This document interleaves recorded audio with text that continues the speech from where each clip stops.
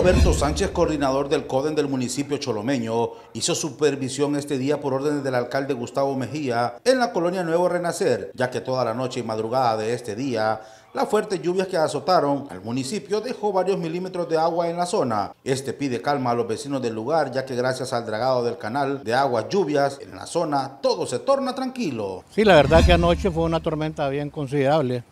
Estaba aproximadamente unos 80 milímetros de agua que eran un promedio de unas 3-4 horas que llovió fuerte, pues eso da lugar a que nosotros tenemos zonas vulnerables, como es eh, el nuevo renacer, pues y da la casualidad que hoy en la mañana ya teníamos algunas denuncias y ese es el objetivo, andar por estos lados, pues haciendo la supervisión respectiva como nos autoriza el alcalde y lo que venimos a ver pues eh, no es, no es eh, de alto riesgo la situación.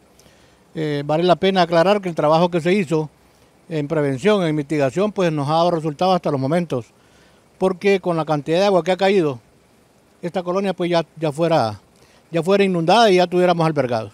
Se llama entonces a la tranquilidad a todas las familias que habitan en esta Nuevo Renacer. Sí, al Nuevo Renacer, eh, eh, Río Nance, gracias a Dios, eh, Las Palmeras, zonas que están en el sector norte, que son zonas bastante vulnerables, pues les decimos que mantengan la calma y que en el chat pues se les está informando de la situación en que nos pueda suceder. Según el nuevo boletín que ha enviado Copeco, se mantiene en alerta María eh, el departamento de Cortés. Está en, amarillo eh, Puerto Cortés y Atlántida.